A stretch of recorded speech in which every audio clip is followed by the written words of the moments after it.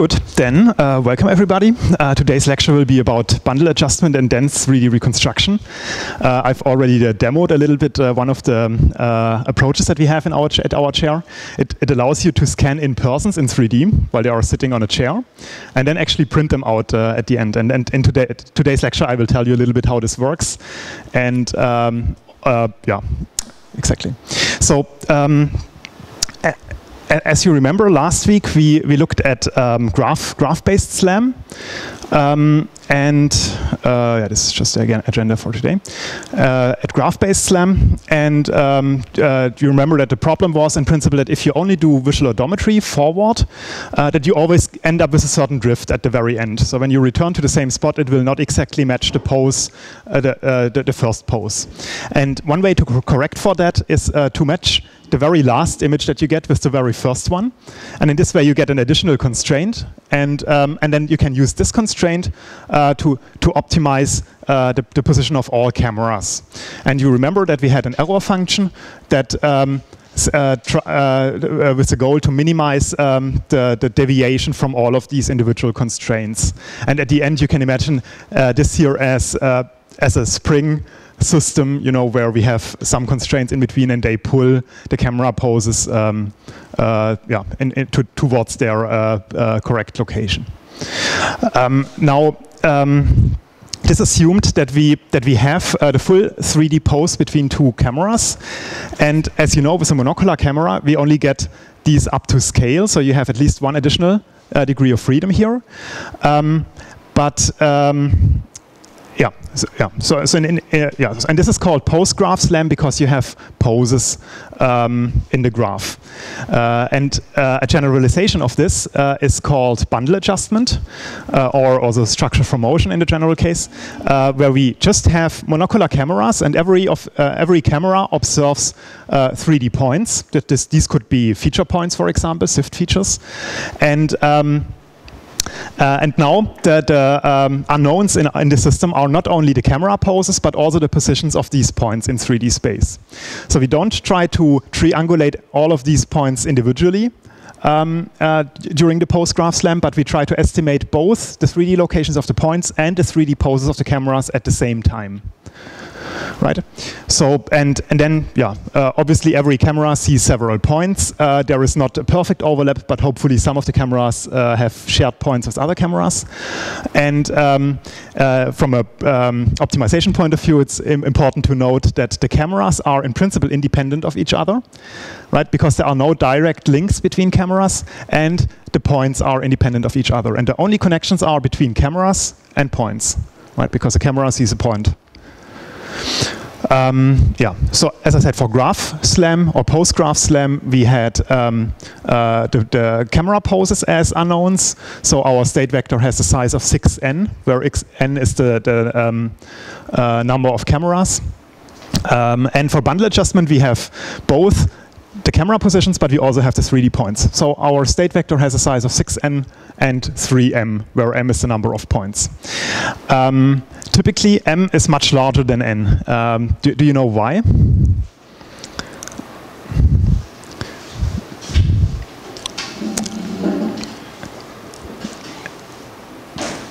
Um, so, so, again, n is the number of cameras, and m is the number of 3D points. And typically, uh, at least, you see more uh, 3D points, you know, because in every image you would extract maybe 100 or 500 SIFT features, and this means that the number of of, uh, of 3D features that you're optimizing over is typically much larger than the cameras. For every camera, camera you get hundreds of, of 3D points. Um, good. Um, now, uh, uh, in principle, we apply now the same algorithm as last week, um, but with a different error function. So now we have camera poses um, which are encoded as a six-dimensional vector. We have feature points that are encoded as a three-dimensional vector. And um, every feature is observed in a camera image at some location. So it has a 2D coordinate in the image, x and y.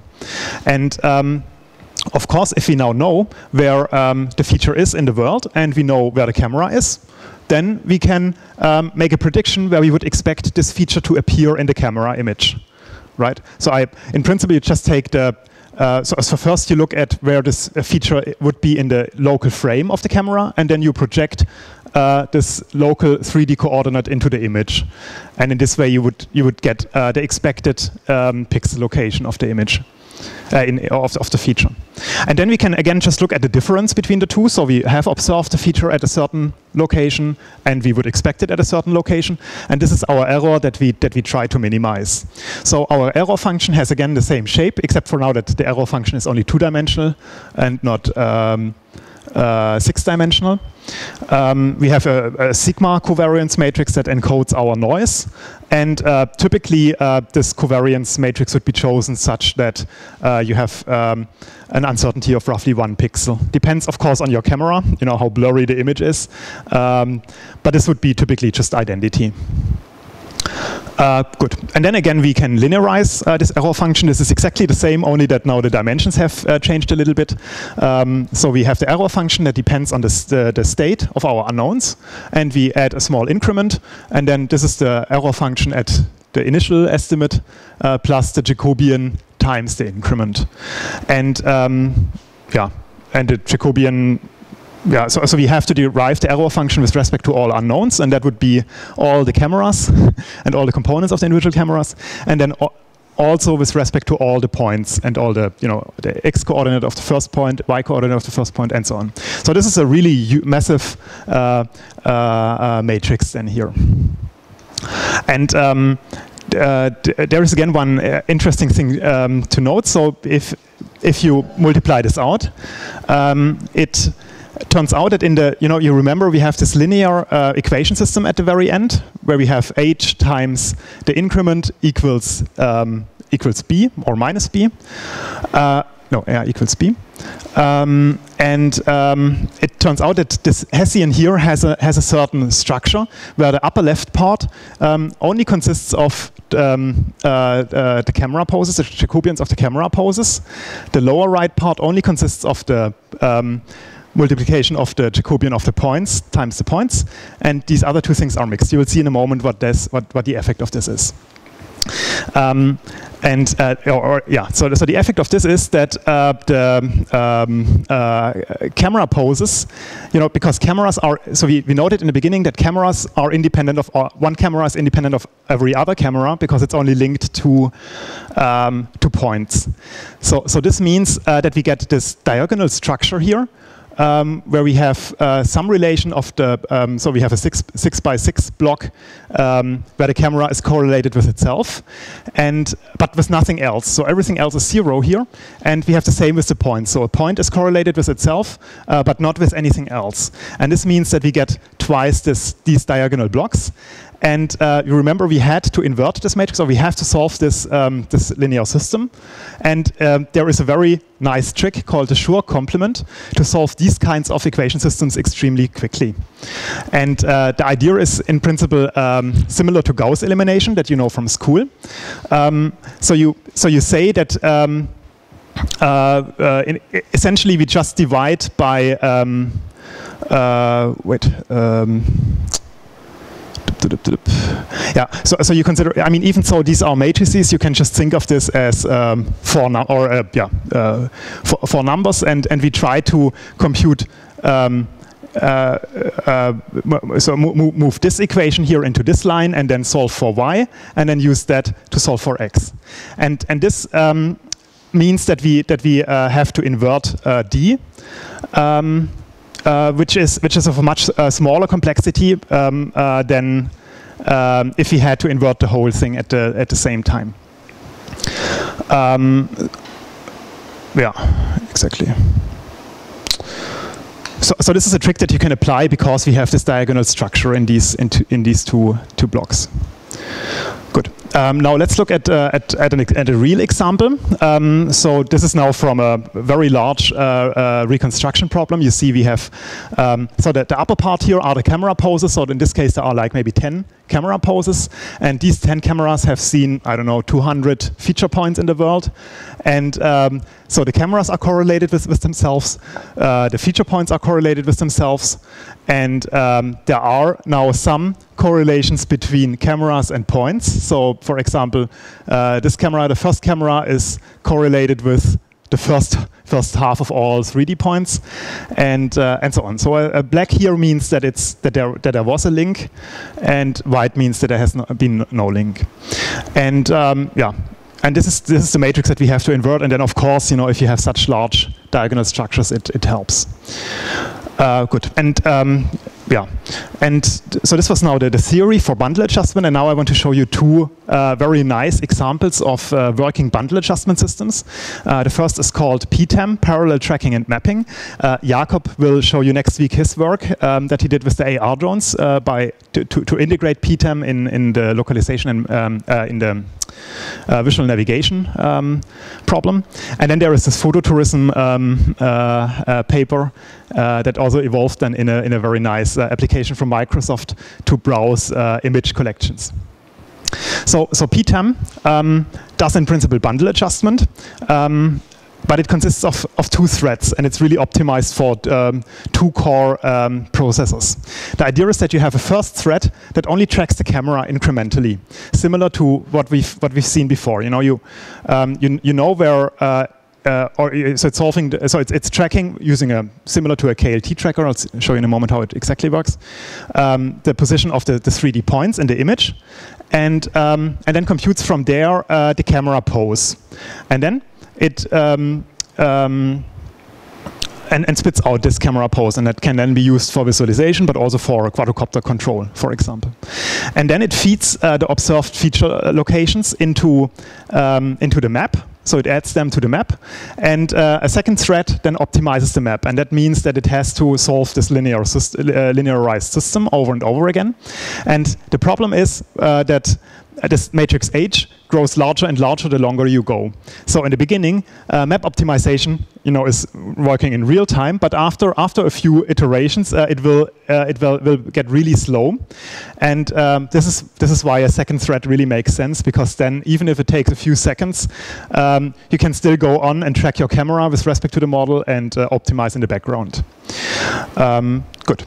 So the, the tracking thread uh, looks as follows. Um, you, you get in the image, and then um, it computes uh, the image pyramids. You remember, you know, you scale the image down by a factor of two, and um, you first, and, and then PTAM uh, tracks uh, detects corner points um, in in the image, uh, fast corners, which is a uh, a learned classifier that really quickly tries to determine whether a pixel is a corner or not, faster than Harris. Um, and then it, uh, you know, it has the map from the map from the mapping thread. It projects it into the image uh, to have a, roughly a rough idea where where PTAM would expect the 3D features. Uh, then it uh, tries to find uh, the exact features in the image, and from there it updates the camera pose. And then it does that uh, again um, on, a, on a, a finer stage uh, on a, a, lower level of the image pyramid. And um, at the end, uh, it you know, gets out the camera pose, but also measurements of the 3D points in the image. Um, the, for, for finding back a 3D feature, it just does stupid 8x8 uh, tem uh, template matching. Um, it warps uh, this template a little bit um, according to the uh, motion between uh, the original camera pose where the feature was initialized and where the camera is now. Um, and um, and then it searches in a fixed radius around the projected position. So, for example, uh, PTAM would guess, or the best guess that PTAM has is that the feature should be somewhere here, uh, but then it will look in a in a certain radius around that, and it won't. So you, you know, re you remember we had this brute force approach where you would just go over all possible translations. Um, uh, and that, that's not what PTAM is doing, but PTAM, because we know that this feature has been initialized on a fast corner, we just have to check it in principle against feature points uh, that, that also are uh, fast points. So, so PTAM first detects uh, fast corner points and then only checks in this radius against those points that, um, yeah, that have that are also fast corners, and that's really quick, um, of course. And then it, you know, as I said, uh, this is. Um, uh, these 3D points are then fed into the mapping thread, um, and um, uh, where, where, they are added to the optimization problem, and then um, the map is optimized, which can take or takes increasingly long. And um, uh, yeah, and in principle, and this loop goes on and on. Uh, map maintenance here means that at some point, or PTAM also occasionally deletes 3D features if they are overly inconsistent with everything else, or just unstable because you're looking at a reflection uh, or something. But in principle, the main part is you get in new uh, 3D points and uh, new, new, new keyframes, new camera poses, and you add them to your optimization problem, and you go on and on. And at some point, you feed back this map whenever you come up with a new map. You feed it back to the map to the tracking thread. Um, good. Just to show you a few timings. Um, these are actually timings from a few, few, years ago. So now PTAM runs extremely fast on modern hardware. Uh, people have ported it, for example, to smartphones, and it, you know, because the smartphone of today is as fast as the fastest computer from six years ago. Um, so uh, tracking at that time ran at uh, 20 milliseconds, and uh, there are various substages, for example, to uh, build the image pyramid, which is typically very fast, uh, then um, uh, project the features into the image, search for the patches. That's the most costly part where you have to check uh, the template against all possible fast corners in this radius, um, and then compute the camera pose. And uh, the mapping thread actually, I, I didn't show that uh, on the other slide, uh, does not uh, do map, uh, the map optimization on all degrees of freedom, but it first optimizes the map only locally. So you select a certain number of camera poses that you want to optimize and points that are you know, in your current field of view. Essentially, you optimize them first, and then um, afterwards you do a global bundle adjustment on everything. And this has the advantage, or the, the, hope here is that it then converges faster because the current points that you are looking at, this is where you get the most information in. So this is where you want to spend the most time to optimize. And um, then these timings are just approximate. You, you can see that uh, in the beginning, uh, the map optimization runs really fast. So up to the fir first 50 images that you integrate in the map is really fast. And then uh, the longer you go, uh, the, the, more uh, time it consumes, and this can get really slow uh, at some point. Yes. Uh, no, that this is. Um, um, uh, I, I, think it's a, bit, a little bit more than um, uh, square because you essentially have to uh, solve this uh, linear equation system, and that's and the size of the matrix is a cube, and I'm not exactly sure uh, inverting this matrix um, has. It's not cubic, but somewhere in between, somewhere between yeah, power of two and three. Good. So, so this is a video that they that they had. Uh, this ISMAR conference is a conference on um, uh, augmented reality. This is what the AR stands for, and um, uh, so in the beginning, there is an initialization procedure to get the 3D points uh, there for the first time. And then once you, once you establish the map and once you know where the camera is, you can do all kinds of cool uh, additions to the image. Um, for example, add uh, yeah, small figures or uh, add a grid, um, things walking around. So PTAM was not originally meant for being used with robots, but with the same, you know, as soon as you have a, a system that, that gives you the camera pose very accurately, uh, you can do, uh, of course, incredibly cool stuff uh, with it. And it's open source, so you know if you want to play around with this, um, these are now the reprojected 3D features, the different colors encode features that were extracted at different um, uh, levels of the image pyramid. So some of the features are very large uh, corners, others are very small corners. Um, yeah, and so on.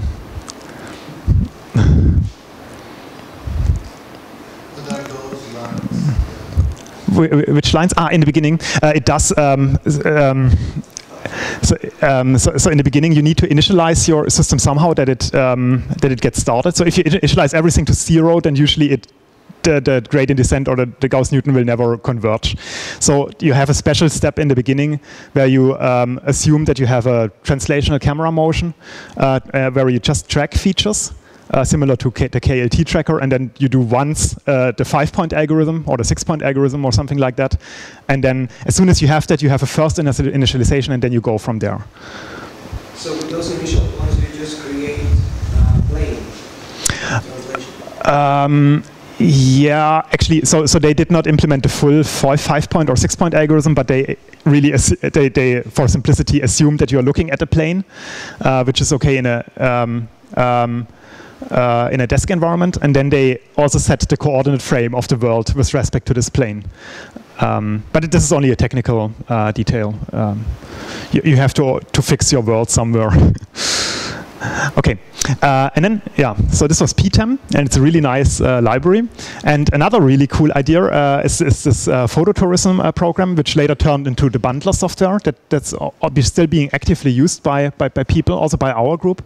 Um, the cool thing is that you can just um, uh, download, um, put arbitrary images in principle into the program and it will try to, to match them using SIFT uh, and then we'll come up with a, uh, a, sparse scene representation so you can, this is Notre Dame here. So, so you, for example, you download uh, hundreds of images from Flickr with, that have the tag Notre Dame in it. Download them and then you try to match them and uh, then you try to um, yeah, find the camera poses and the 3D points and in this way you get this set of these, this set of camera poses here and this, this set of 3D points. And, um, and then you can actually use that to navigate in photo collections. So if you if you travel right and you have lots of pictures of a building, then uh, you can move in between. The idea here is really straightforward in principle, or at least for for us now it looks really straightforward. But at that time it was uh, kind of a new idea. Also that you could take arbitrary pictures from uh, internet collections. So it you know, just does uh, SIFT uh, extraction. It does uh, pairwise matching in principle. Um, uses RANSAC again, and then does incremental structure from motion. So you add image by image in principle, and um, the difficulty here is that the focal length, of course, is always different because you have arbitrary images from people and you don't really know what kinds of cameras they have. And uh, yeah, so you estimate the camera poses plus focal length and the uh, 3D position of the point features. Um, one difficulty here is that the, this set of images is unordered, so you don't really know um, which image you should match first. And they have um, had this nice idea that you could cluster the images and find neighboring images, and uh, in this way to, uh, to, to use that this information to build up your graph. So you extract SIFT features from, from, from these images, then you try uh, in a first clustering step to determine which of these images are most likely uh, connected. Um, and then, then you pick, pick one of these images and then starting from there you uh, build up your, um, your graph. And every time that you add a new image, you optimize the graph already. This is called incremental bundle adjustment. Um, yeah, this is this is in principle to help uh, initialization. This is essentially the same problem as with PTAM. The first step is always the most crucial one, so you have to make a good choice in the very beginning. uh, otherwise, it might fail. Um, good. And uh, this is a video that they that they have. Um, yeah, in principle, uh, and yeah, you, you, just download images, and this was one of the contributions that you actually you don't need to have good hardware. You, uh, you, can take arbitrary collections of images. In principle, now we know that this is possible because Google Maps does it as well, right? So I guess most of you have already navigated uh, once in, in such an image collection. So yeah, when you're looking at a, at a building, you could select an area of interest, and then the system can you know look up images that that have this um, that show this and uh, then you can zoom in and so on. So it's, yeah, it's a quite nice thing, but it's also quite common now already. You know, five years later or six years later, it's it's already yeah, common art in principle. Good. Um, so to summarize this, um, we have uh, so this is these are all of these are techniques to get sparse 3D maps. So you get in principle where the cameras are. Um, sparse cameras and you know where the 3D points in the world are. Um, but one problem with these models is that first of all they don't look very uh, nice for a human. I mean they are good for the computer because it's exactly what it what it sees or what it knows. Uh, but as a human you want to have a volumetric model. Uh, but also for a robot, uh, these these maps are, are not ideal because um, you you want to navigate and you want to know where the obstacles are. And if you only see 3D features in the world, uh, then it's usually not clear whether you can whether there is a wall or not. Because if you don't see anything, it does not necessarily mean that there is no wall. Um, so you really want to have an, um, uh, a representation where you know about the occupancy and where you can determine whether or not you can drive through something. And this now brings us to, to dense methods. And um, to get started with this, I thought that I'll briefly cover um, stereo vision. I guess most of you have, uh, do, do, you know these pictures? So this is, um, you, you, have to uh, look a bit weird uh, at, at, this picture to, to see the, the 3D structure. Maybe it's difficult now on the, on the screen. Um, but as, as a human, you're really good at solving this stereo problem, uh, of course. Uh, but there is also some uh, yeah, and, and the reason why this or how this works also for, for computer cameras is as follows. You remember we had this correspondence problem. Imagine that we are looking at one point in the image, say at this, this window over here. Um, where, can, where could this uh, point be in the second, or we, we're trying to find the corresponding point here, because if we would know that, we could triangulate uh, the position, and we want to do that for, for every pixel in principle. And we remember that we had uh, the epipolar geometry, uh, before. So any point in the 3D world, so, so you have you have two cameras looking at uh, one point, and um, um, yeah, and then th this. Uh, say we are observing this this point here at, at the coordinate x1 and um, we don't know about its depth so it could be located anywhere along this ray and then the second camera would see um, these points, depending on the depth, uh, somewhere along a line. And this is called the epipolar line. And um, now, um, if you if you would move this point around, you know, then the point would shift here along this line. If you move it uh, up and down, for example, then then these lines here would turn. And uh, one way of, of um, uh, looking at this is to say that there is in principle this epipolar plane, uh, plane um, which is the connection between the two camera centers of the left and the right camera and this point. And the intersection of this epipolar plane with the image planes gives you these epipolar uh, lines. And you remember that we, that we had this epipolar constraint that essentially summarizes all this information in one equation where, where we just know a point from the left image um, times the, uh, the, essential matrix times um, the uh, point in the right Im image has to has to be zero, and this is essentially a line equation. Good. Um, so um, this epipolar constraint has one large advantage because we now know that any that, a point in the left image um, has to lie on a line in the right image, and this makes the uh, correspondence search um, uh, in, it turns the correspondence search into a one-dimensional search problem. So we, we just have to look along the epipolar line because the point can't be anywhere else. Now, depending on its depth, it will be at a different location, but it can only be on the epipolar line. And uh, these epipolar lines um, can look differently depending on how you set up your cameras. For example, if you have two cameras that are looking onto an object uh, like this, converging cameras, you would get uh, epipolar lines of this shape. Um, depending on how much they are converging uh, the, the, the, the, center of intersection. Uh, the epipole, the so-called epipole, um, is either in the image plane or outside of the image plane. So in this case, it's, it's somewhere outside of the image plane. Um, yeah. And in, in the extreme, or in the case where you have two parallel cameras, these epipolar lines are actually um, yeah, all of them are parallel, and the uh, epipolar point is at infinity.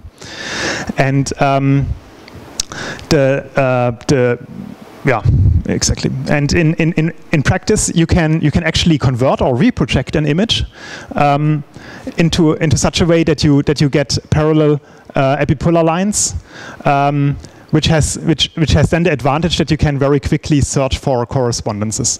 So imagine, for example, we have two cameras, these gray cameras here, and they are pointing in. Um, yeah, different directions not aligned, um, then of course you could always emulate um, a new image plane somewhere that is parallel and then reproject both of these images onto these parallel image planes and in this way the epipolar lines get parallel. And this uh, simplifies the correspondence search of course enormously because otherwise you would have to, you have a different epipolar line for every for every point here in the, in the source image, but after you do the rectification, uh, you can just search along a line.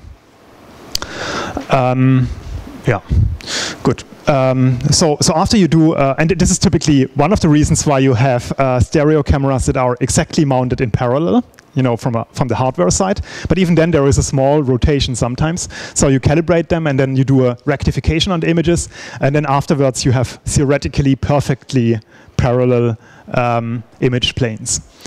Um, Good. And now to, to search for a correspondence, you would just pick a pixel in the left image and then search along a line in the right image.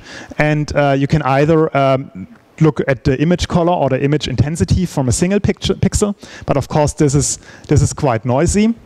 Um, uh, so you can better uh, uh, match small blocks or small patches, and you remember that we've been looking at the sum of square, square differences or the um, sum of absolute differences, uh, which makes it a bit more uh, robust uh, and, and yeah, less noisy. Good. Um, so, and this is called the so-called block matching algorithm. There are, by the way, lots of stereo uh, algorithms around, and you might have seen others before. But this is one of the most simple ones, and um, uh, it's yeah, and yeah, exactly. And I want you to know at least this one. So it um, the, the input are two camera images, and the output then is the disparity, which means uh, the shift along the line. And from the disparity, you can also compute the depth then, which is inverse, the inverse disparity. Um, good. So the, the, approach is just uh, uh yeah, straightforward. You first you undistort the image, that you get the lens distortions out, um, and then you do rectification, which means that the epipolar lines will will will, will get uh, horizontal and parallel, and um, yeah, and then you search for every pixel along a search window. You define how for, for how large. Usually, you would search from zero disparity to say 32 pixels disparity. Um, along this line, you extract then the extrema um, and um, do that possibly at subpixel accuracy. So you first determine the, the, minimum cost yeah, at at pixel accuracy, and then when you have that, you fit a quadratic curve, for example, to the cost function in the hope to, to localize the disparity or the depth even at a, at a, higher precision. And then afterwards, you do some, some post-filtering to, to clean up the noise, for example, by uh, checking, you know, in, in this case, we're matching the left image to the right image. But you could, of course, also do the same from the right image. So you could uh, ask, you know, where does this window come from, and then search along this line. And only if both of these um, correspondences give you the same depth, you accept it, and otherwise you would throw it away or say it's unreliable. Uh, good. Um, so to, to, give you an example, it's a bit hard to see, I guess. Uh, th this is the house, and then you would get um, a color-coded image as the output, which is a depth image, and every and the color here indicates the uh, uh, the disparity. So the closer we are, the larger the disparity is, and um, yeah, and that tells us something about the depth. So for block matching, you would typically pick um, block sizes of 5 by 5 um, up to 11 by 11, or maybe even larger, depending on how your camera looks like. Um, the trade-off here is that smaller neighborhoods, of course, give you more details, as you can see here in this in this example. So this is a tree that we are looking at. Um, you can see very thin branches and so on, but you also see lots of noise here. Um, if you take a larger neighborhood, uh, you get less noise, but also less details. And it yeah really depends on your application what a good choice is. But typically uh, 5 by 5 to 7 by 7 is something what people usually use. Um, yeah, and then as I said, you would suppress pixels that have a low confidence. For example, you could, so people usually check uh, against the second best match and they do um, a left-right check to check again whether um, it's actually consistent between the two images. And um, the nice this, this looks, um, the problem is still is that uh, block matching typically fails in regions with low texture. So if you take pictures in nature, you, you, you always have texture or on these images actually you have lots of texture right? And this is why the depth image actually, actually looks quite good. But if you do that indoors and you have a white wall then um, the second best match will usually have a cost as low as the first best match. So you would reject it afterwards because you're you're completely uncertain and um, and this means that if you if you have these hard checks then and you're looking at a scene like this then you only get very sparse depth measurements. It depends a bit. This is an extreme scene, but uh, typically stereo images have large parts where you don't get data. Maybe 20, uh, maybe 80 50 to 80 percent of the image are actually not really defined, but it indoor, indoor, and it depends on your camera. Uh, you know, if you if you have a webcam, then all of these regions might look textureless. But if you have a really good camera that has say, say 12 or 16-bit grayscale depth, then even a white wall still has some texture. And I guess also as a human, you know, when you look at a wall, it's never it's never completely white. Uh, so um, depending on your sensor, this problem might be more or less extreme. Um, and there, there, are in principle two things that you can do and that people do. First is you can have some global optimization. So you say, um, even if I don't have a good um, uh, texture at this point, I know that it's in between, or say at this point, I know it's in between two measurements where I'm fairly confident, so I can extrapolate or I can regularize uh, the values there. That sometimes helps, but sometimes it also introduces artifacts because you really you really don't know. You don't see anything there, so it could be anything. But of course, if you have to make a guess for something, then the best thing that you could do is to interpolate between the two. Um, or you could add uh, additional texture. And uh, this is actually a quite simple idea, but you just add a, a, projector. Um, this is the PR2 robot, for example, and it has um, two stereo cameras or two, two pairs of stereo cameras and uh, an additional pattern projector. And this pattern projector projects red light onto the scene, so it's, it's a bit, so you can really see it when it's switched on. Um, but it can it can be synchronized with the camera, so it's not so extreme. But nevertheless, you see a red light, and then and then this red light adds a really strong texture onto the scene. And in this way, essentially, the scene has texture, right? And then uh, normal stereo matching, block matching afterwards can give you an almost dense depth map. Um, and actually, a very similar principle is, is used in the Kinect. Um, uh, so there we have, I mean, we have a color camera, but it's not used for the depth reconstruction. But we have an infrared projector and we have an infrared camera.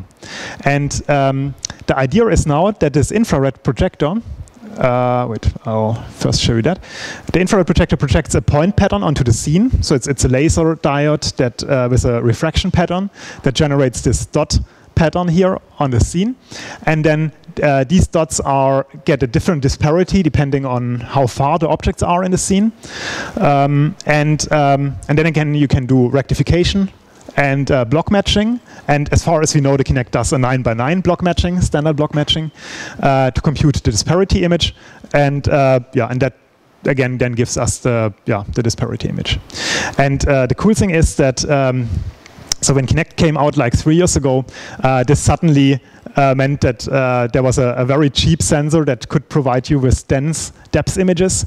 Um, the cool thing also is that uh, it uh, that everything runs on board the sensor, so it has everything built in an FPGA. So when you connect it to your computer or to your robot, you directly get the depth image. There is nothing that you have to do. It's not that you need a strong CPU for for doing this.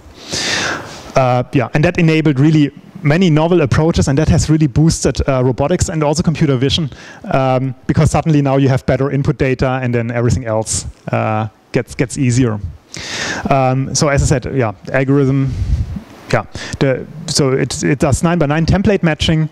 Um, it searches over 64 pixels. So when you have an FPGA, you know uh, you have to really hard code things into hardware.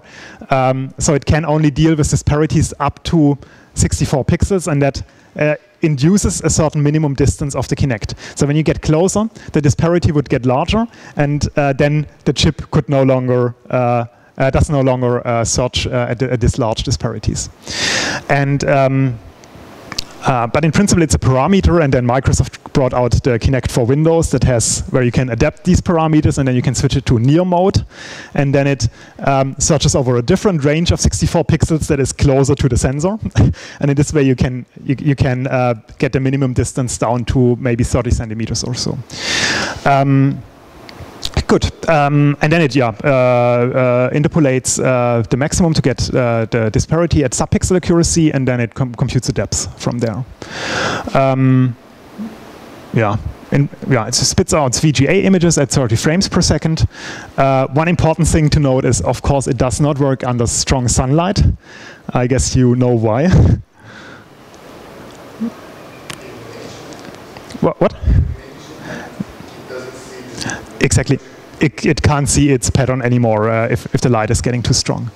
And you, you also don't want to make the laser uh, much stronger because it could happen that it's infrared, so people don't see it.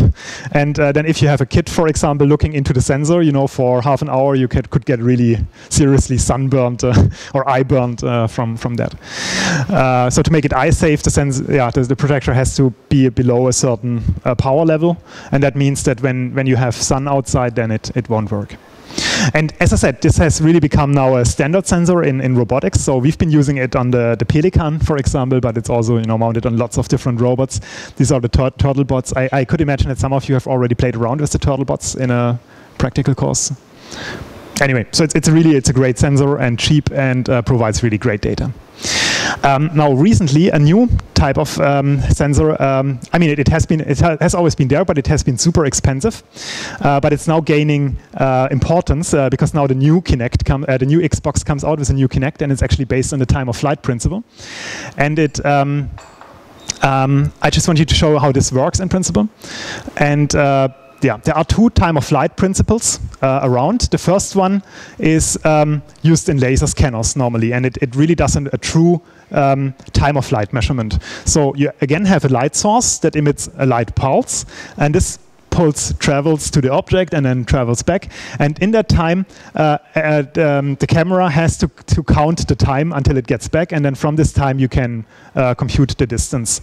And um, uh, this, this, this means that you that you have to have a really fast timer inside every pixel, and that makes your sensor really large and expensive and um, uh, and uh, and heavy uh, and so on. So if you only have a single pixel like in a laser scanner, you know it's it's easy. But if you want to have a camera, um, it needs lots of electronics, uh, and this is why these time of flight cameras usually had, uh, or at, at, least until recently, had very low resolutions. Say maybe 64 by 64 pixels was already, you know, uh, costing a few thousand euros. Um, the, the other uh, technology here is that you do an indirect measurement of the distance, um, uh, uh, which, uh, or which is also called the phase shift measurement. Um, the idea is that you have a continuous light source that um, that you switch on, but that you modulate with a relatively low frequency in terms of the speed of light, with a low frequency uh, modulation, say 20 megahertz, for example. And uh, this means that you that you have waves, that you produce waves uh, of say 10 meter length. Um, and uh, when this um, this modulated light here is reflected, uh, you can look at the, the, phase difference between, between your emitted signal and your uh, observed signal. And then this is also a measure for the, for the distance. The only problem is that if your target gets further away than the wavelength that you, that you have, uh, you can't really distinguish between uh, zero meters and 10 meters, right? Because it would have the same phase shift. Um, yeah. Good. Um, but this is easier to implement actually in hardware. Uh, and you can do it as follows. So you, you need a pixel that has still to be very fast. so triggered at these uh, 20 megahertz or 30 megahertz. The idea is that you receive this, this incoming signal here. So, so you're sending out this yellow signal and you're receiving this uh, this red signal. And to recover the, the phase shift, you only need to read out the signal at four distinct locations um, with a 90 degree shift between them. And from these four measurements, uh, you can you can recover um, first of all the amplitude, of course. So the amplitude is uh, how how large is our signal. You know, if you if you if you take the mean and then look at the the distance from from the mean to the yeah to the to one of the peaks, then this is the amplitude, and that can be easily recovered from these four measurements. We can also look at the offset, and the offset uh, gives us an um, uh, and um, gives us in principle the intensity of the scene independent of our additional light. So this is how much of the light is reflected. This is how much ambient light we have. And then we can also compute by looking at these uh, differences in the arctan at the, the phase shift. And that gives us then an angle. And um, of course, it's, it's, quite hard to, uh, to measure uh, the intensities during this wave uh, only from one measurement. But the good thing is that you know, of course, exactly the, the frequency of the signal. So you can uh, um, build the pixel in a way that it measures this, um, you know, not only in one wave, but say in one million waves over, say, 10 milliseconds, for example. And um, yeah, and uh, uh, so you accumulate uh, your intensity measurements, but you uh, yeah over over several several waves. And in this way, it gets a little bit more, more accurate. But it also means that if you have moving objects in the scene, or if you have pixels that are um, uh, measuring sometimes the, back, the, distance to the background and to the foreground, then you also integrate over this, and uh, then you get so-called mixed pixels. Um, and uh, until recently, this has also been super expensive at, at really low uh, accuracies, uh, really low resolutions. So this, the Swiss Ranger is, is one of the famous um, uh, time-of-flight cameras. And um, when the Kinect came out, actually, uh, uh, Mesa, the company producing the Swiss Ranger, sent out, I think, at least three newsletters uh, pointing out the differences why their uh, time of flight camera is much better than the Kinect. But of course, they had a hard time because the Kinect cost like 150 euros, and the everything, you know, at a lower resolution costs more than 10 times more. Um, other cameras like the PMD Tech is really massive and consumes lots of power. Um, but now, um, you know, this is the, the, new Kinect that has been announced a, a few weeks ago. Um, has a resolution that's compar that's even better than uh, or that's comparable to the to the previous Kinect, but it it does not it does not do um, uh, patch correlation, but it really does per pixel measurements. And this means that your depth estimates are much finer, or that your that your you can you can really see fingers on the images. And uh, there is also this creative camera from from Intel uh, that yeah gives you gives you images at, this resolution. And uh, this could indicate I'm not so we are at the moment exploring and looking at the data again um, whether this is actually um, uh, yeah uh, the next step in, in, in 3D sensing.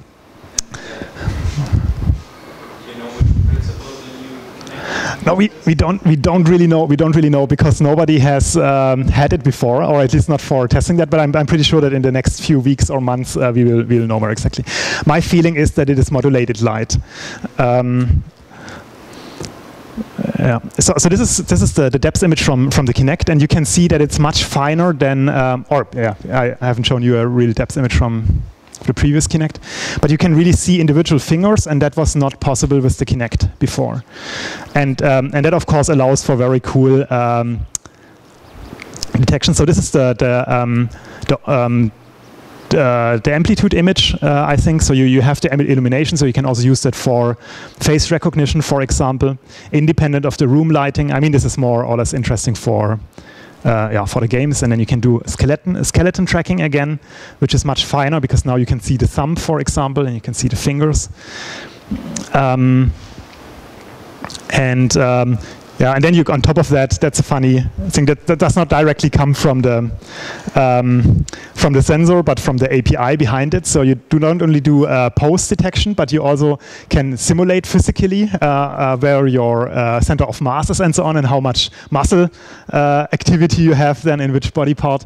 And you could imagine, of course, for game programmers that this could be really um, really important uh, because you, you, know that there have been ways of cheating uh, with Kinect.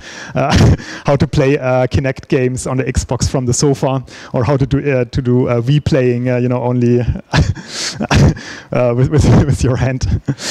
Um, you, you also get the orientation out, but it's also so this is partially due to the better. Um, um, uh, higher accuracy of the sensor. There is one funny experiment. I'm not really sure how they do that, so they can determine the heart rate of the persons from apparently from intensity changes in the infrared image. Um, I don't know. um, could be cool for some games. uh, or for, for, yeah maybe for some fitness games. And then of course you can also do player identification, but they do that apparently based on the, the color image, so they don't do that on the depth image.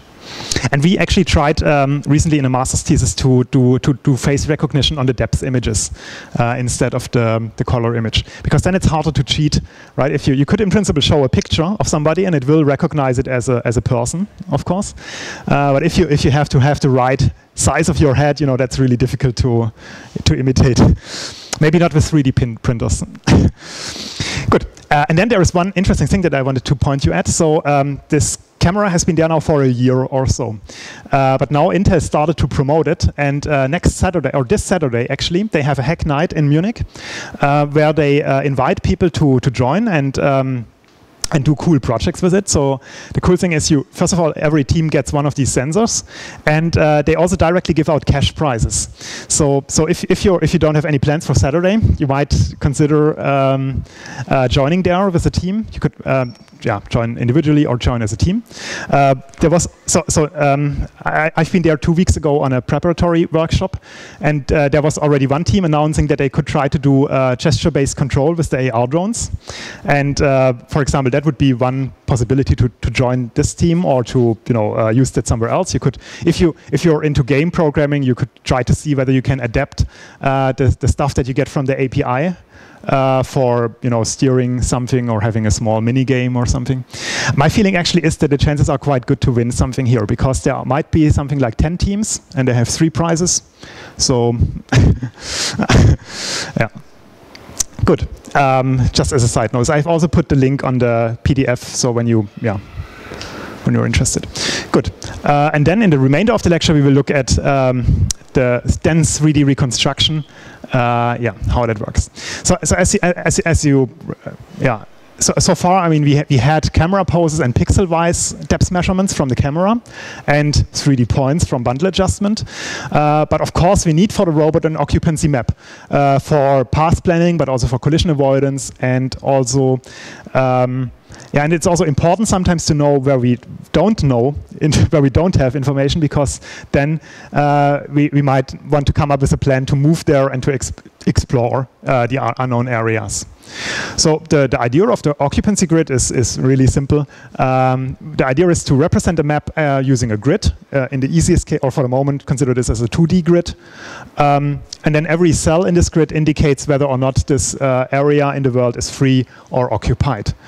Um, yeah, so we have a, a large uh, n-dimensional vector of which is the map, and it uh, has binary values in principle, uh, empty or occupied. And um, if we would know this map, this binary map, then we would be done. But of course we don't. So the only thing that we can do is to estimate a belief about this map, uh, which is a probability distribution. And uh, then we try to, to estimate uh, this map from the sensor data that we have. So it's in principle the, the um, distribution over the map state given all the sensor measurements and everything else that we derived uh, along the way. Um, so first of all, uh, for building such an occupancy grid, people usually assume that the map is static. Actually, there are quite some um, works at the moment coming up with dynamic maps, because if you have a vacuum cleaning robot, then of course there are people walking around. If you are, if you're looking at the transportation problem in industry, you have other robots or other vehicles driving around. So the world is not completely static, but for the moment, let's assume that it is, and uh, we assume that it has the world has a binary state in for every cell, and we also assume that the cells are completely independent of each other. And um, this means that we can estimate all of them independently. and so we drop the index uh, i for the moment. But remember, in principle, we have to do that for every cell. Good. So to estimate um, the occupancy of a single cell um, from, from certain measurements, um, how can we do that? And um, um, yeah, and uh, the the approach here is uh, uh, to use the, the Bayes filter from, from lecture three that you might remember. So we've used that for state estimation. And in principle, the mapping problem is also a state estimation problem. You know, we, we get in measurements and we try to estimate the hidden state of the world, namely whether or not it's occupied. And um, if you fill in the formulas for the Bayes filter for a for a binary Bayes filter, you know, where m only has two states, we end up with uh, with this formula here, uh, which essentially consists of three parts. First of all, there is uh, the integration of the um, the current observation. There is the previous. Uh, so so we try to you know we we integrate uh, t observations of the occupancy. Um, and so say now at the moment our observation is um, a measurement where we know uh, where, where, we see that it's free or that it's that it's occupied and of course, these measurements are noisy, so we can't directly take a measurement as the state of the world, but we, we can probabilistically integrate all of these measurements into, into our estimate. And then the idea of the Bayes filter is to do it um, uh, incrementally. So we integrate the most recent observation, set t, and um, um, yeah, multiply this with our previous estimate from time 1 to time t minus 1 and um, uh, some prior belief that we had in the very beginning, when as long as we don't know anything. Um, yeah, and in, in this way you can incrementally um, build up your uh, your, your belief from uh, your sensor model. So this is uh, how a single measurement influences our belief and the previous state. And this can again be recursively then estimated using the Bayes filter as, as we go and the prior belief about the occupancy of the, of the world. Um, good. So this prior probability makes sense to um, be assumed to be 0.5 in the beginning because if you don't know anything, you would say, you know, it's 50-50 that it might be occupied. Uh, we need um, the sensor model that, or the inverse sensor model that tells us what we expect, what our belief is given a certain observation, and that depends on the sensor that we are using for, for doing this. If you're if you're using ultrasound, it, it might be uh, might not tell us so much, you know, a single measurement. Uh, if you're using a laser scanner, it might be more accurate. If you're using a stereo camera, it might be a bit less accurate because sometimes you don't have texture and so on. Um, yeah, and then in principle you can estimate it using using this formula, uh, but it turns out that this is numerically quite unstable, and it uh, and there is a very simple transformation that can can make it yeah increase increase both the speed and the, the stability, and this is called the log odds representation. Essentially, you you divide the probability that it, the cell is occupied by the probability that it's not occupied. So in in the beginning or, you know, if it's 50, as long as it's 50-50, then this would be 1 divided by 1 would be 1, and then the logarithm of that would be 0. And then uh, the more um, evidence that we get that it is occupied, the larger this log odds uh, will get, and the uh, more evidence we get that it is free, the lower this log odds representation will get. So it's a logarithmic um, uh, measure. And that the cool thing now is that when you apply that to the formula, then it you know you end up with a very simple sum of um, the belief change, uh, belief change from our current observation and our uh, previous belief.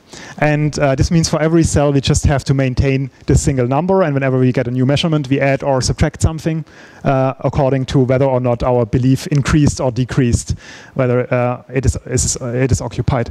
And whenever we need the real probability, we can go back from log odds, of course, to, to the probability distribution again. Um, Good. Now there is one idea that people usually do when you do online mapping, um, which is called clamping. Um, uh, this fully static assumption in the beginning is of course not really true. Uh, so it could happen that you have a robot uh, that is uh, driving along a door and at some point this door gets opened. And in the, in the normal log odds representation, you know, to switch from occupied to free, um, you would need to see the door open as, as at least as, as often as you've seen it closed. You know that the sum gets positive at some point. Uh, that it yeah to indicate that it's free. And um, to to shorten this period of time, uh, the idea is to clamp the values of the log odds to some minimum and maximum value, and and this then um, leads to um, uh, uh, to, to, the behavior that uh, you can, so, so, you can, with these values you can set um, how long it takes to update a cell, even if it was completely occupied. Um, you could, for example, set that after one minute of observation that it is open or after 10 seconds that it can get updated at some point. So this is a simple hack in principle to make the, the map half dynamic. but it's of course not a perfect solution, but this is what, what makes sense usually in practice. Um, good. Um, then uh, let's briefly look at the inverse sensor model. We've looked at this before. Um, so we have to have a function that tells us, given a certain measurement, what is the likelihood of um, that, that the, the, map cell is actually empty or occupied. And um, um, let's consider an ultrasound sensor, which has a very nice uh, probability distribution. Assume that it's yeah, standing in the center of the world and it measures a distance of 2.5 meters. What does this tell us about the occupancy of the cells in front of the laser scanner? Um, so the, the uh, ultrasound sensor is standing here and it does not tell us anything on, the cells that are outside of the cone. So the probability would be 0.5 or in log odds representation it would be zero. So these cells would get zero updates. And um, of course, in front of the laser, uh, front of the ultrasound, we um, have some negative or we have some small um, probability below 0.5, which means a negative log odds um, increment. Uh, because we are almost we are pretty sure that it's that it's empty but of course it's also not probability is never zero right because any sensor can fail and uh, then here at 2.5 we observe um, uh, this is the distance that we have observed, and here the probability that there must be something is higher, but it's also not 1, but say 0.7, for example. Um, yeah, because it could also have hit somewhere else. Um, so how, how do you think uh, would this look like uh, for a laser scanner? Just a random guess? Much more confined and a higher peak. True. Exactly, exactly. So the lasers, so the, the ultrasound, the sound just you know uh, distributes in all directions, has a very large opening angle for a laser. You can really uh, well control uh, uh how focused it is, uh, and this means that the peaks will be much higher and much deeper here. Um, but this depends on the error characteristics of your sensor. And in principle, you can measure it empirically if you get a new sensor. Good. So um, as I said, we in this log odds representation, we can just add up all the individual uh, log odds from the individual readings. So this is now these are now ultrasound maps uh, because it, it's easier to see here uh, because the maps the, the, data is so noisy in principle. But you have a robot, it drives around, has makes this ultrasound measurements, and um, uh, yeah, sums up all of them and then at the end, we get um, an occupancy grid uh, of a corridor, uh, for example, or a part of a corridor. And um, then at the end, this, this um, log odds representation, of course, gives you values between uh, minus infinity and plus infinity, or if you convert it back to likelihoods between zero and one. Uh, but of course, you want to have a map like this, so you would you can either visualize it as uh, an intensity image, or you can cut off at 0.5 and say everything that has a probability lower than 0.5 will be considered as occupied, and the other thing as, as being um, free. Good. Uh, now, one problem with uh, um, occupancy grid maps is um, that it consumes lots of memory. Consider, for example, that we want to map a building or an um, yeah, or an industrial site of 40 by 40 meters at a resolution of 5 centimeters. How much memory do we need? And and then, you know, you can of course compute how many cells you need. And for uh, a 2D map, um, it's still quite a lot, five megabytes, but it of course fits easily in memory of today's computers. This was not always the case for like 10 years ago. This was already, I guess, close to the limit. Uh, maybe not 10 years, but maybe 15, 20 years. And um, but now in, in 3D, and this is actually what we are interested in, it grows even quicker because now it's going to the power of three. And uh, at a resolution of five centimeters, we already need four gigabytes. And if we bring this down here, for example, to one centimeter, you know, it would already be uh, 100 times more. And then you can see how quickly you uh, hit um, the memory limits of today's machines at the moment. Especially when you when you think about you know mapping one building is one thing, but of course Google Maps needs to map the world or map at least one city. Um, so you have to really think about how to fit that in memory. And uh, one observation, of course, is that uh, especially in 3D, uh, most part of the world are uh, completely free or completely unknown.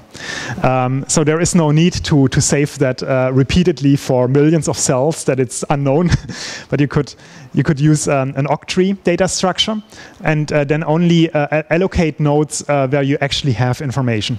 So as long as you know that everything is free, you know, you just uh, represent it with one large free cell at a very high level. And um, yeah, only for the parts that are close to the surface where you actually have information, you would you would store information. And um, uh, there is uh, one uh, um, uh, package that's really used frequently frequently now is called Octomap in ROS, um, where you can put in laser measurements, for example, or Kinect measurements, and then it will generate this octree. And um, it also has functions to save it to a file and to truncate uh, to um, uh, to um, uh, yeah, truncate this tree a little bit, and then you can even have a, a large corridor like this uh, saved to a very small file. Um, this is a yeah, this is the the tree. You, you, can see how large, in principle, the the space is that that fits into memory.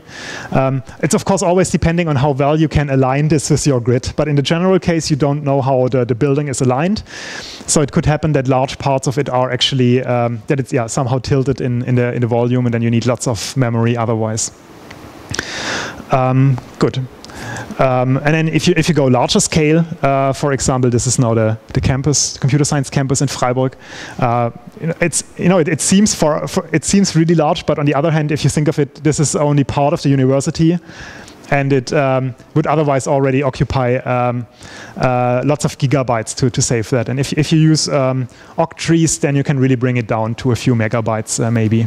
And, and then a, even a small robot like a vacuum cleaning robot or a lawnmower could save that in its limited um, memory. Um, good. And then recently, um, uh, a new representation became popular. It has already been there since um, almost 20 years now. It's called assign distance functions, actually. Um, and um, it turned out, so with the Kinect, it suddenly became possible to use that for really nice uh, real-time reconstructions. And uh, the idea is as follows. Um, instead of uh, representing the occupancy grid, uh, or the occupancy of a cell, you, you store in the map the distance to the surface. This is why it's called a signed distance function. So imagine, for example, we have a laser scanner or the Kinect or any device that gives us a distance, say of 1.8 meters. The occupancy grid would just save a 1 here or something close to 1 uh, in this cell because it, it measured um, this distance and, and 0 here before, and 0.5 would not be touched. Um, from the prior. Um, and in, in, contrast, the signed distance function saves um, in this cell a value of minus 0.3, which means that from this cell to the um, to the surface uh, are 30 centimeters to the right, and in this cell we save 0.7 to indicate that it's 70 centimeters to the left. And um, the cool thing now in this representation is that we can afterwards extract the zero crossing at subvoxel accuracy right? So the information does not get lost. Here in the occupancy grid, it's all everything is discretized onto the cells. And even if your sensor would be more accurate, it, would just get lost. Um, but in the signed distance function, uh, you can recover uh, the zero crossing um, as accurate uh, as, as you want uh, in principle. As, uh, as, but it also, yeah. But nevertheless, if you have a finer structure here, then it would get merged into into the same cell. But you'll see in a second that this looks really in comparison to the to the octrees or to these, these maps looks really nice. Um, Good. How does this work? So for the moment, we assume that we have already solved our structure from motion problem, so we know where all the cameras are. Uh, we have a camera that's looking at the world um, and observes this, uh, this, this dense surface or this almost dense surface. Um, we have our grid overlaid um, that carries the signed distance uh, values. And now for every of these cells, we compute the distance to the surface. Now, computing the, the, the, Euclidean distance of all of these cells is uh, quite involved um, uh, because um, yeah, finding the nearest neighbor uh, would require you to use an octree or to use some dynamic programming. Um, uh, but it turns out that a very, very good approximation and very fast approximation is to use, uh, instead of the Euclidean distance, use the projective distance instead. So, for example, if you want to compute the distance of this, uh, this voxel cell here, uh, you would project it into the camera view, and then you look up the depth of this pixel that you have observed, and that immediately gives you back this point, and then you can compute the distance between the two. It, it might not be the right distance because it might happen that there is a pixel, you know, if, if this surface would, would go would bend in here like this, then actually the real distance would be would be much shorter. Uh, but in most cases, this gives you gives you a quite good good approximation at almost no no cost. Um, again, we have the problem with um, 3D consumes much memory, but you can again use use octrees. Um, if you want. Um, and then, um, you know, for, for, every new image that we get, we just uh, average over the distances that we see. Um, or in principle, we form a running sum over all distances. Um, so we have the, the distance from the previous time step plus the, the distance from the, the new time step. And you can also add a weighting factor um, um, that you either set to one, you know, if you trust all your measurements equally well, or a weighting factor that depends somehow on your confidence in the in the measurement. So if you if you know, for example, that a certain um, um, yeah, a certain measurement is not so accurate, then you can can uh, build that into uh, into this weighting function. Um, uh, another idea uh, is to, or one thing that you really need to do is to uh, truncate the signed distance function. So you would not just save the signed distance uh, because this, uh, so this, this projective distance here, um, you know, it could happen that this surface here bends here around and then gets closer to this to this object again at some point. Um, and if you, if you only look here in, in, in one direction, um, or maybe where, where is another better spot? Yeah, in, in, any, in, in any case, to, to, bound the influence of, of this, this, uh, this distance measurement, that might be wrong, you just truncate it. Because at the very end, we are only interested in the, in the zero crossing. And as long as we are not close to the zero crossing, it anyway doesn't, doesn't matter. Um, yeah, so you, you know, and this is, this is the signed distance function, the red line here, and we truncate it to two maximum values uh, of a few centimeters, for example, or yeah, something like this. And then you have this confidence value that is one, in, for example, in one in front of your um, surface and quickly decreases to zero afterwards because also you don't want to arbitrarily update cells that you have never observed with large positive distances. So you, you um, th this essentially encodes um, our prior about the thickness of, uh, of objects in the world. Um, yeah. Good. And now um, one nice thing about this um, um, summation over, over signed distances is that if you um, take, for example, two noisy measurements, say here and here, and we sum them up in our sign distance function, um, and we do a regression afterwards that the noise nicely cancels out. So the more observations you get under the assumption of um, Gaussian noise, you um, you get yeah you get a really accurate estimate. And um, yeah, exactly. Good. And now, um, uh, one, one, important thing, of course, is that you uh, need to extract at some point um, the zero crossing from the sign distance function. And there are two ways to do that. First way is to do raycasting from a virtual camera that you that you simulate. So for every camera pixel, you you shoot a ray through the sign distance function until you hit uh, the zero crossing. Um, or alternatively, you can extract triangles from your sign distance function using, for example, the Marching Cubes algorithm or any other uh, polygonization algorithm, uh, which outputs you a triangle mesh, but which usually takes um, uh, more time, or it's not typically not real-time capable. Um, Good. So, so just for shooting race, you know, you would have to shoot one ray per pixel. So on a CPU, that might be slow, but if you have a graphics card, then you can do that for all pixels at the same time. And uh, in principle, you follow the ray until you find the, the, the zero crossing. And um, uh, one interesting thing is that um, you can, of course, skip ahead along this ray, so you don't have to check every single voxel cell. But if you realize here that the distance is still at least half a meter away, you know, you can skip half a meter forward to see whether you're now uh, closer to the object or not. So you don't, so you can do really fast um, uh, intersection checking. Um, good. Uh, another alternative is this Marching Cubes algorithm to extract triangle meshes.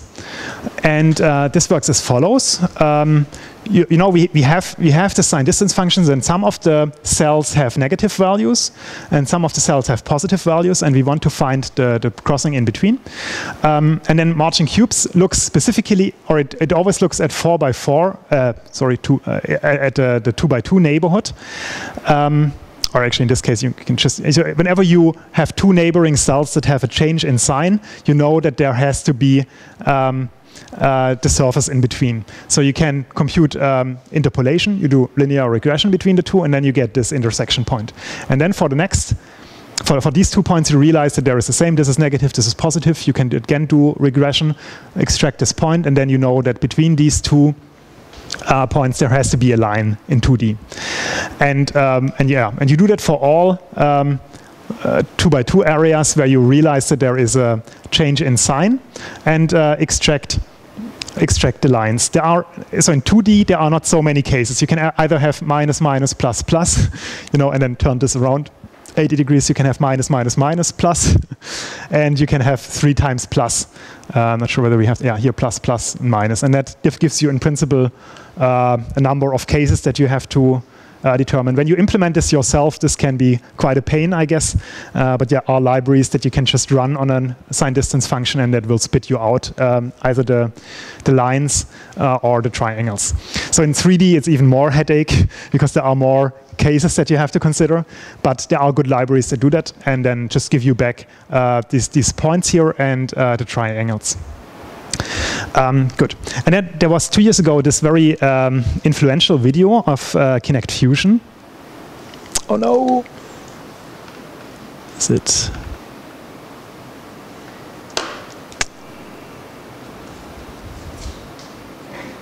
Loading. Ah, okay. Hmm. Okay. Have to see it here unfortunately. Um, hmm. Not sure what's going on. Uh, and it so it it, it uh, uses these sign distance functions to to generate really nice uh, 3D models. Um, it, it uses um, actually, so it, um, yeah, it uses projective ICP that you've seen before uh, to, to register the camera. Um, it, so it takes the current depth image or the current point cloud that you get from the sensor and it uh, uses the, um, uh, the depth image uh, that it gets from, from ray tracing, from ray casting.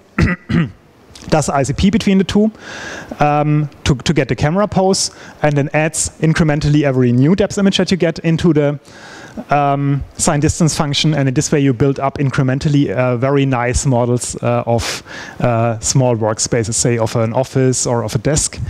Um, uh, and, and you can see, uh, even so, this, this triangle mesh here is, I guess, 512 to the power of 3. So that's roughly what fits in a graphics card at the moment, takes in 1 gigabyte. You can even get very uh, fine details um, thanks to this sign distance function, because even if your grid has a few centimeters, or say 1 centimeter in, in side length, um, the, the, interpolation between uh, between the individual grid cells can give you an extremely high um, uh, accuracy, and in this way you get really nice uh, reconstructions uh, out of it. Um, good. So and um, this is where we actually started, or where Erik actually started last summer uh, with his master thesis project. Um, and uh, we now wrote a research paper on, on, on, this and sent it to RSS, which is one of the uh, large, uh, or the, um, yeah, one of the big uh, robotics conferences, uh, which takes place next week in, in Berlin. And this is also why I'm, I'm not here then. Um, but yeah, as, as you know, Jakob and um, Christian and Frank will, will show you their current work. And uh, I, I, guess this brings, yeah, will bring you, uh, um, or will, will, will show uh, where the current state of the art is and what we are currently doing. Good. So um, the idea is that we, we have built up the sign distance function for the first k frames. And uh, now we get a new depth image in, and we need to register it. We need to find the camera pose. And as I said before, Kinect Fusion just um, extracts a depth image for uh, the current estimate of the camera, say from here, uh, and then does ICP between this part, this, this part of the line and this part of the line. And uh, that's a little bit inefficient uh, because actually uh, what we want to minimize is the distance of, of, of these individual points here in the sign distance function. And uh, uh, in principle, we can read out, yeah, so we, we try to minimize the distance and then hopefully we find the camera pose where this blue line uh, fits as, as, as good as possible uh, to the sign distance function that we already have. So the, the error function that we can minimize here is um, that we sum over all pixels, wait, I'll show it here again. We, so we sum over the distances from the sign distance functions from all pixels uh, all pixels here on this blue curve. Um, and, and then this is again a minimization problem that you can linearize, same technique that you've seen three times before, um, uh, using the Gauss-Newton algorithm, and that gives you then uh, the camera pose. So here we have the, you know, you take a pixel, you project it into 3D space, uh, transform it into the local camera, and then you look up um, this 3D point in the sign distance function and uh, take the square, for example, um, uh, of the distance, and then this is the term that you try to minimize. And it turns out that this works really, really nicely, and e even uh, uh, uh, for position control on the quadrocopter. So this is our Pelican in the quadrocopter lab. Um, uh, it, it has it, it carries some cables here, and we tied it had to tie it to the ground because it's a bit unpredictable sometimes. Um, uh, especially the the USB cable goes to an external computer because we need a GPU to do this data fusion and optimization of the camera pose. Um, but then we can directly use um, the estimate of the camera pose for uh, position control, for flight control. And in this way, we can move the quadrocopter along um, a predefined trajectory, for example, along this um, uh, half circle here, and then move it back and, uh, and land it again. The videos are not perfectly synchronized. Um, good. And uh, then from here we get um, we get a really nice uh, 3D model out of it. So this is incrementally built up while the quadrocopter is flying, and also there is a visualization on the screen, so you can directly get uh, these models out of it. And um, you can also, yeah, you can also uh, estimate the color. Actually, I didn't mention that, but you can estimate the color of each of the voxels just by adding three more values over which you sum, uh, sum up, or over which you average. And then at the end, you get, yeah, you get a, a model like this from the kitchen, and you could imagine that um, an architect could use that already to um, to measure some distances or to get a better feeling of how a room looks like. Um, yeah, and as a side effect, we could use that for position control. Good. Um, and then, wait, is it? move on. Yeah, and then we found out actually that the same approach also applies to uh, somehow PowerPoint, PowerPoint doesn't like it today. Maybe it's getting too hot. I'll just show it like this. So this is then what we sent to the German computer vision conference and got accepted last week. This is uh, uh, one of our, this is Julia, one of our PhD students, and she had to serve here as a model. So this is the, the sensor here, and uh, I'm recording her, and you can see in the background in real time how her 3D model appears. And um, so we're, in principle, the algorithm can't distinguish whether the camera is moved or whether the object is moved right? And it, um, it turns out that um, this works very well for person scanning. And um, um, wait, so there are a bit more details how this model is constructed. You know, in the beginning, uh, there are parts of the model that you can't see, of course. Um, but the more, the further the camera goes around, um, the, um, uh, yeah, the more it gets filled in of the sign distance function, and the more accurate it, it becomes, hopefully. And uh, yeah. So let's see. So this is this is a visualization of the voxel grid that's underlying it. This, these are not all voxels, uh, but this has now been reconstructed at 256 to the power of three. So th these are actually quite it's quite low resolution image, but by using these sign distance function, you you get really nice uh, reconstructions of. Um, uh, so you can't see the grid structure that's actually underlying it right? And then one, one thing is you, so this is then what we did for this paper. If you want to print it in 3D, it makes sense to make the model hollow um, because the, the printing costs uh, are uh, mostly depending on the, uh, the volume that you actually print out. So if you print it out as a solid model, it costs more. Um, and um, so if you if you print it as a solid model in this size, so so actually I brought a few of these models along. You can have a look at it later. Um, it costs around uh, 30 euros as a solid model at the moment, and I guess prices are dropping rapidly, and um, um, around 10 euros if you make it hollow. So if you only have a one millimeter um, uh, surface. yeah, yeah, we had to do different experiments. so, yeah. And uh, I'm, I'm, not sure whether you, uh, I, I, think this is a really interesting or really exciting technology. Um, so I just wanted to show you um, whoa, a video of how, how 3D printing, printing uh, works. So in principle, if you have a model like this, say as a triangle mesh or as a sign distance function, um, you can um, you can print it. And printers are getting really cheap uh, these days. So we've been thinking about buy buying one if, um, for, for our lab. So if you're interested in doing a, a project with 3D printers, then come talk with me. Uh, probably we won't get, I mean, we, we will get a, a, a, cheap one that only can print in one color. But this is now a printer that has that can do color printing. The idea is that it, um, it adds a powder um, uh, of uh, a layer of powder of maybe 0.1 millimeters, and um, and then uh, fixates this uh, with glue or with a laser, depending there are different technologies.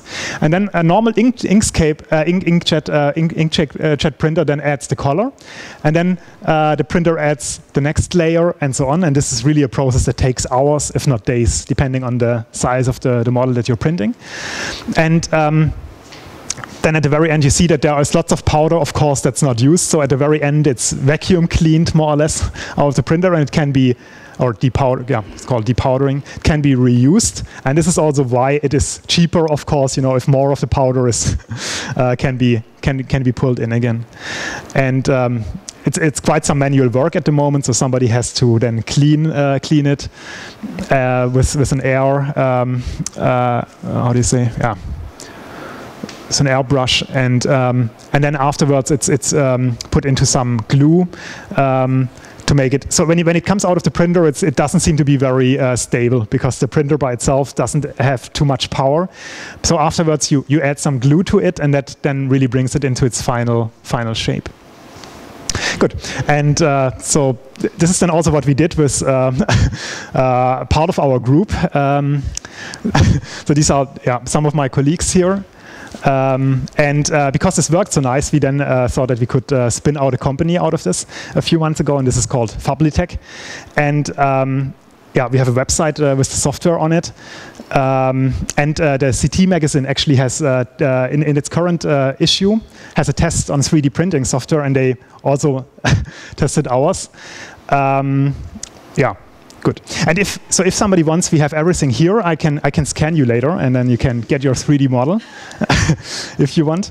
And of course, you could also uh, extend this. I mean, this is a this is a really nice status uh, thing that we have now, but um, it's by no means the end of research. So this is just the beginning. You know, now you could think about how to.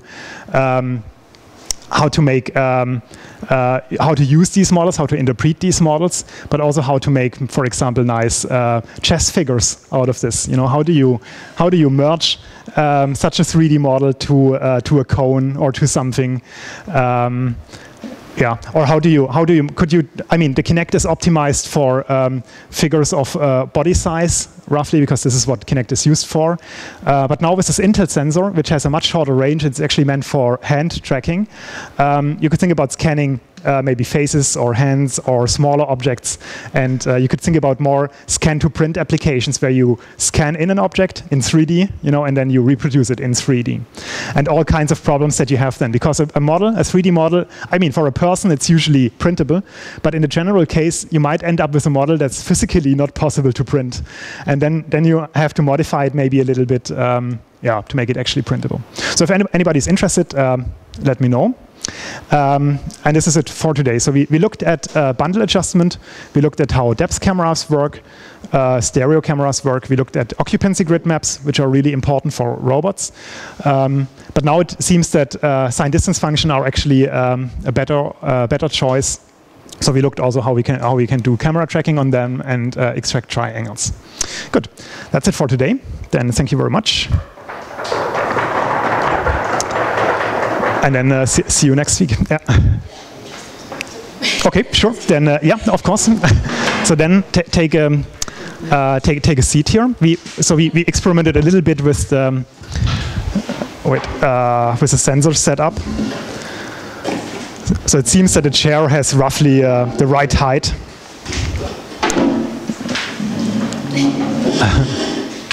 wait. So this is. Um, uh, yeah, exactly. So wait, I think that I have to restart this again. Yes, sure, please. So yeah, take a seat.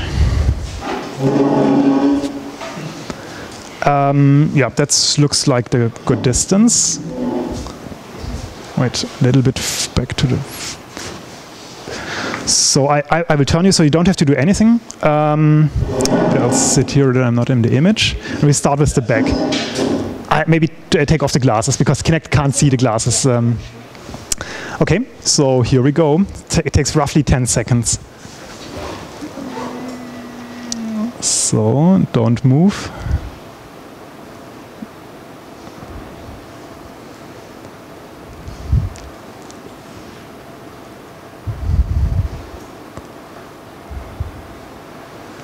So, okay. And now my, my laptop uh, takes a little while to process the model. so in principle, if you have a strong laptop with uh, 400 uh, GPU cores or 800, it runs in real time. But this one has 80, so uh, it takes a minute or so to compute.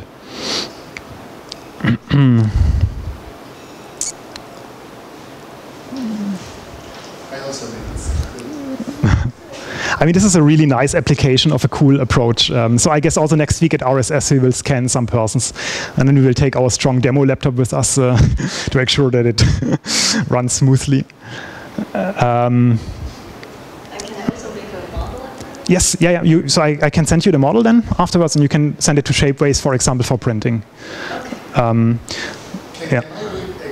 Of course, yeah. So you can also take uh, uh, accessories with you. For example, you can hold a book um, or um, anything, or a, a, a, bottle or something. so I think my computer is really suffering a little bit from the heat. Ah, actually, one one last thing. So so um, um, uh, yesterday, uh, Jakob and I have been in in, in Sweden at the Swedish uh, Institute of Computer Science, and we gave a one-day crash course on quadrocopters, and um, which was really fun because uh, they they didn't have anything to do with quadrocopters before, and then uh, after a few hours, every every team was able to get it in the air, you know, with a joystick and do things similar to what you you've done. And the cool thing is that they. Um, oh no! Wait, I think something went wrong. Sorry, I don't know what happened here. Okay, I have to do it again. I don't. I. You want to? Camera touching. Yeah, uh, I have no idea. Uh, Let, let's try it again. Um, okay, wait a little bit further. So.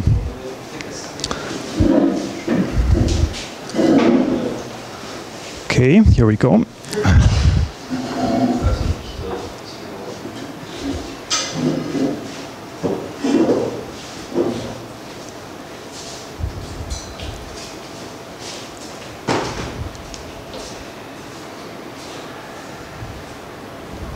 Okay.